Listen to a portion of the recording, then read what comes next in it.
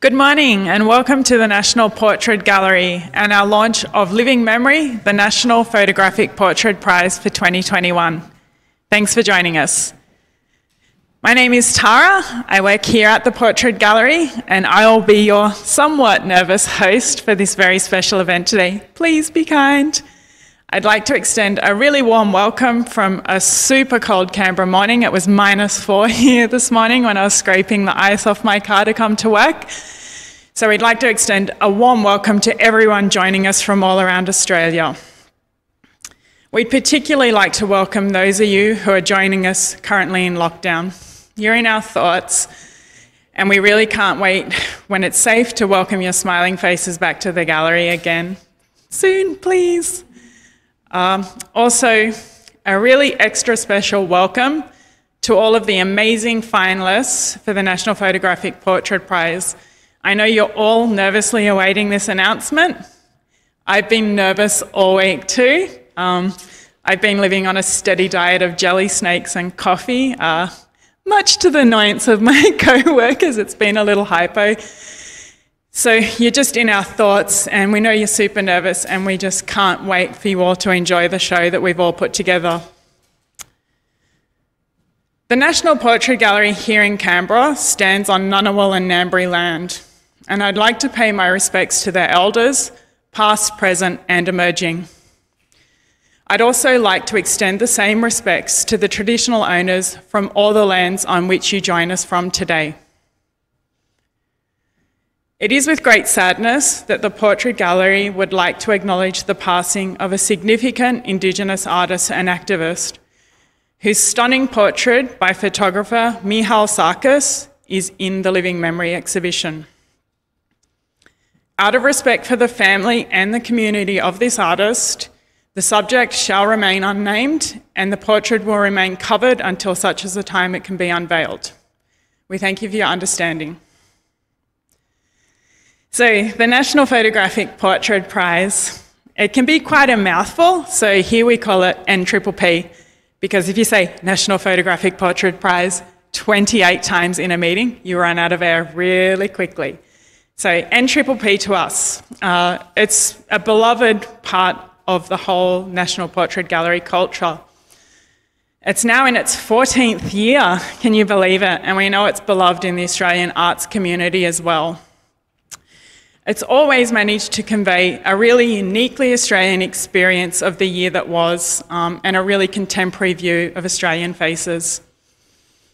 So, the planning for this year's NPPP 2021 took place at a really uncertain time. The Portrait Gallery, along with the rest of Australia, was in lockdown and we were uh, working remotely but we really felt more than ever we had to deliver this prize as a way of everyone to express through their arts what we'd all been collectively going through. Um, at such a time of uncertainty, and for us witnessing our communities, and particularly our photographic and artist communities' loss of connection and their very livelihoods, we knew we had to do something really special to give back and so the concept of this year's exhibition, Living Memory, was born. We aimed to make it bigger than ever before.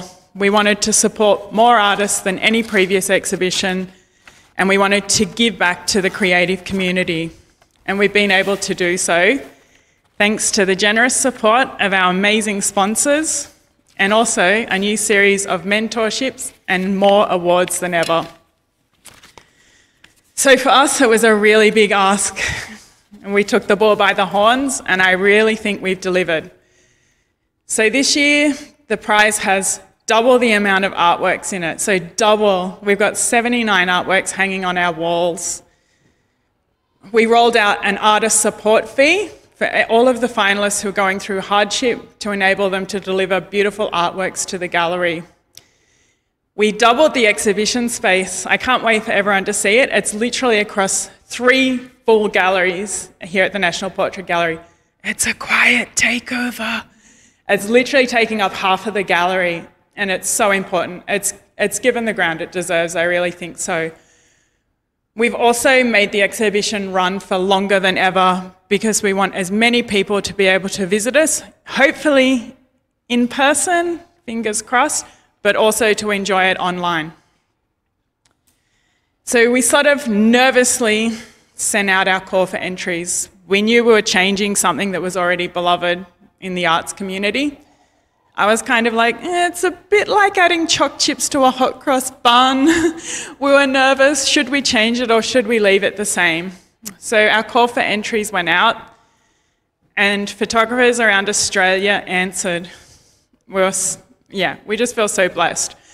Thousands of you submitted incredible portraits. And I just, I really want to take a moment um, to sincerely thank every single entrant that enters our prizes. Like for entrusting us, we know it's not just entrusting us with your photographs. You're entrusting us with your personal stories, your community stories, your families, your family and friends' faces, and your lived experience. We know you're basically sharing a window into your worlds, and we see you, and we really thank you for that and, and entrusting us with that. To me, it takes a certain vulnerability to enter a prize and to have your work be judged. It's hard. Um, and I just want all the entrants to know that every single photograph is looked at. Every single photograph. Thousands of them are looked at by all three of the judges individually and again in person. I think it's just really important for everyone to know that we do look at all of the works and we value everyone being so on board with the prize.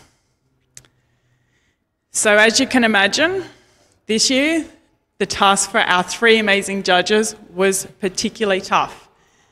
Our judges, as you know, were our director here at NPG, Karen Quinlan, the director of the National Gallery of, of Australia, Nick Mitzevich, and the amazing photographer, Bill Henson. And I just wanted to take a little second, because I worked alongside these judges all the way, to thank them because they use so much. I just want to thank them for their consideration and their invested care. They really cared of the selection of all the finalists and the winners. There were so many worthy entrants, and we thank you all. And so here we go again uh, we're on another Zoom experience in a gallery. And I know it can never be quite the same. We know it can never be quite the same as visiting an exhibition in the flesh. Uh, so our team are working hard on bringing you the exhibition, which you'll be able to enjoy online. But for now, we're ready to cross live to our director for the announcement. Good luck, everybody. We're thinking of you. So we're just going to cruise over here for the announcement.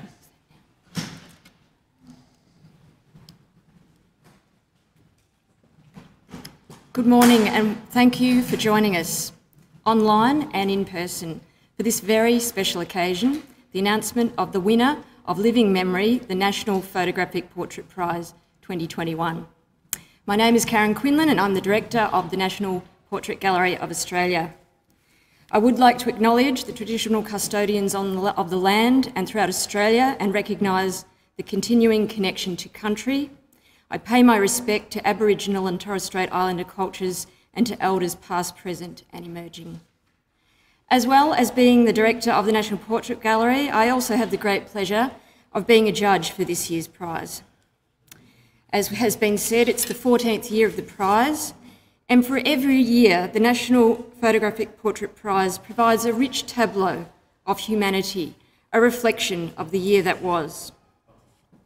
After the harrowing bushfires of the summer of 1920, closely followed by the COVID 19 pandemic, it felt imperative that in 2021 we acknowledge the seismic events of this period.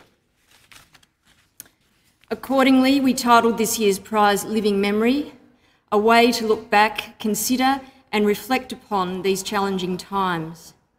We anticipated that the photographers would respond well to this theme because of their exposure to some of the most extraordinary moments that either they or people they know have experienced.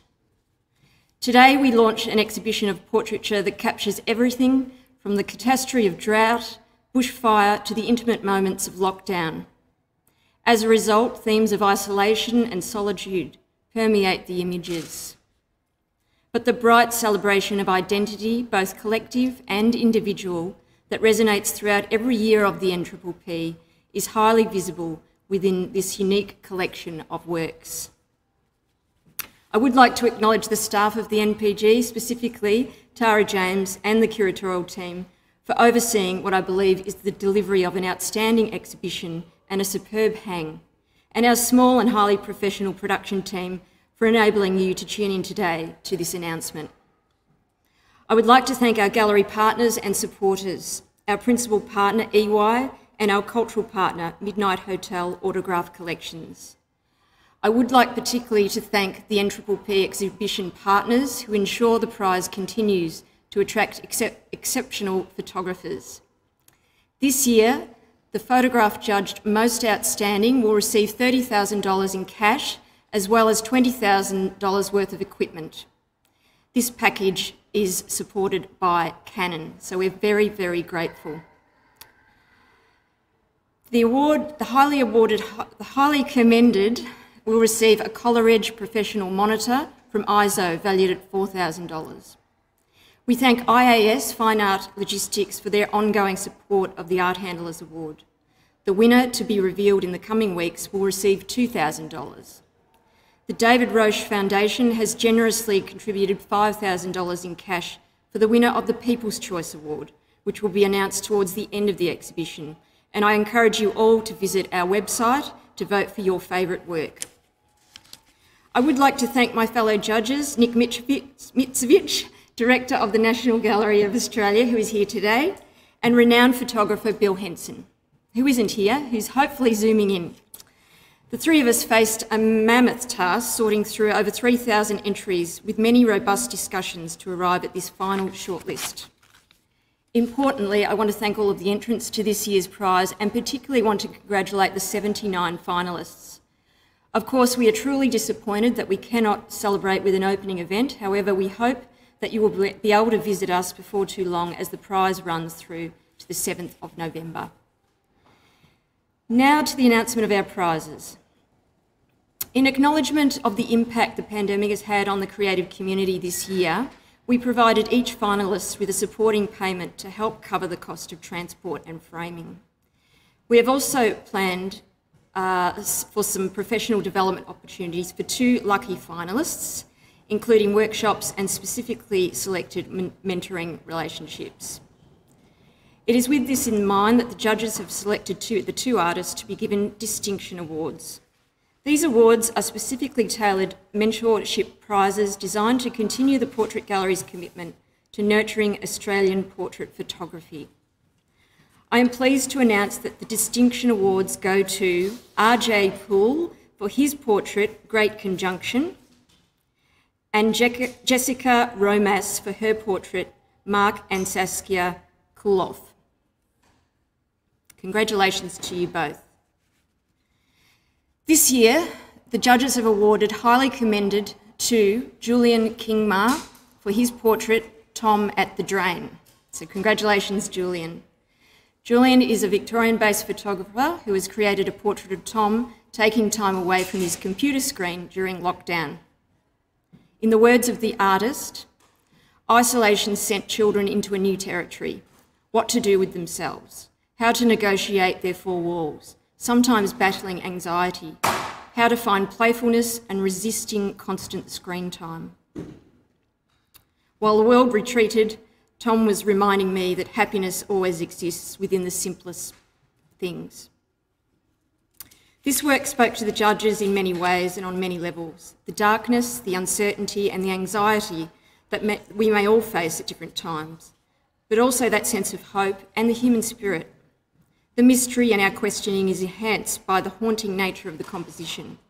There is something strange and introspective going on as the child clings to the drainpipe, and yet through the darkness and the strange distance, with that slightly disturbing placement of the horizon we experience the beauty of this photograph. So well done, Julian. And the winner of Living Memory, the National Photographic Portrait Prize for 2021, is New South Wales based artist Joel Pratley for his striking photograph, Drought Story, a portrait of David Kalisch, a farmer captured in the midst of an unexpected dust storm on his farm in Forbes, New South Wales. To accompany the work, the artist's statement says simply, Sometimes you think, why am I here? And Joel is joining us via Zoom. Congratulations. There you are. Where are you and how do you feel as the winner for this year's N Triple P? Uh, I'm streaming from, uh, from Redfern and um, I, I, just I just feel really uh, really overwhelmed. Like uh, my feet haven't touched the ground. it's um uh, it's just uh, such an amazing competition to be a part of. To actually be a finalist in itself is a huge win. So um, I'd like to uh, first thank uh, the NPG, um, what they do for the photographic community and the public. I'd like to thank the judges as well, Karen, Nick, and Bill. Definitely thank all the entrants and especially the other finalists during this lockdown. Um, yeah, I didn't think I would personally win this. However, I really do believe in this image and I'm glad that other people do as well. Um, what brought us out to Forbes originally uh, was a job, the goal of which was to show how tough farmers were doing it and how you could donate to help. Uh, I was a very small piece of that puzzle who happened to get this photo, just right place and right time. Uh, I would like to offer a real special thanks to um, Campbell Brown, who was a director of photography on that, and also uh, Kyra Bartley, who was a director as well, who was involved. Um, I don't think I would have been able to get this photo if we weren't there as a team. Um, I'd also like to thank uh, other members of the team who made this project possible. Of course, the uh, people from Rural Aid, um, Basir Saleh and Doug Chandler at BMF, um, Dong, Britt and Sarah at BPay, and um, Selena down at Sun Studios who brought this image to life and did an amazing print job. Um, of course, there's the Kalisches who I need to thank from the bottom of my heart who gave us their time on their farm during this really tough, tough time that they were going through and also the other farmers that were involved in the project that we visited as well, um, such as Rhonda, Tony, and Mark. Um, again, I'd like to just say that I am so grateful and um, thank you all so much for your time. And thanks to everyone for being um, a part of this and making it so special for everyone who gets to be involved in the National Portrait Prize. Fantastic. Thank you, Joel. Look, the judges felt that this work was captivating you can actually see the horizon run back, the shadows of the clouds and the detritus caused by the storm. And there is this ethereal light coming through that picks up on the smokiness of it all, offering some hope of a clearance. It's an arresting picture as we see the person completely surrounded and immersed by a power greater than himself. We all concluded that this was an extraordinarily powerful image. So, again, thank you for zooming in today, and thank you so much for your contribution to make this prize so spectacular, uh, and well done. Well done, and well done in terms of getting this far in your career, and good luck in terms of the future. Thank you, and thanks to everyone that was involved in both the prize and, um, and, and this story. Thank you very much. Fantastic. That concludes our announcement. Thank you for joining us here today. And to those of you who have tuned in online, our very best wishes to you all. Stay safe and well, and we look forward to seeing you here in person very soon. Thanks. Well, congratulations to all of the finalists in this year's Living Memory National Photographic Portrait Prize, or as you now know it, NPPP, and especially to all of our winners. Now it's over to you and the public to vote for your favourite in the People's Choice Award. You can jump on our website, portrait.gov.au, and explore the exhibition in full, read through all of the artist labels, and tell us which one is your personal favourite and why. Please don't forget to share this with your family and friends and share on social media because the more exposure we get for our worthy photographers, the better. Also, keep an eye out on our social media channels for the announcement of our ever popular Art Handlers Award, which will be revealed in the next week or so. The art handlers are vaults of secrecy, and I've been trying to prize this secret out of them for a week to no avail. So we'll be finding out at the same time as you. And finally, please join us online tomorrow. That's Saturday, the 31st of July, for our fabulous panel discussion that explores the theme of the Living Memory exhibition. So, leading the panel is our very own NPG Sandra Bruce, who's Director of Exhibitions and Collections, renowned photojournalist and also former finalist Mike Bowers, and CEO of Mental Health Commission Christine Morgan. They're going to be bringing to you a very valuable discussion with insights into the Living Memory exhibition and its themes, the year that we've all lived through, and its effect on the Australian people and psyche. I'm going to come in. Tomorrow's my day off, and I'm coming in to watch the panel. That's how excited I am about it. Uh, so, as always, all of our virtual programs are available on our website at portrait.gov.au or on our social media channels, the little at portrait.au.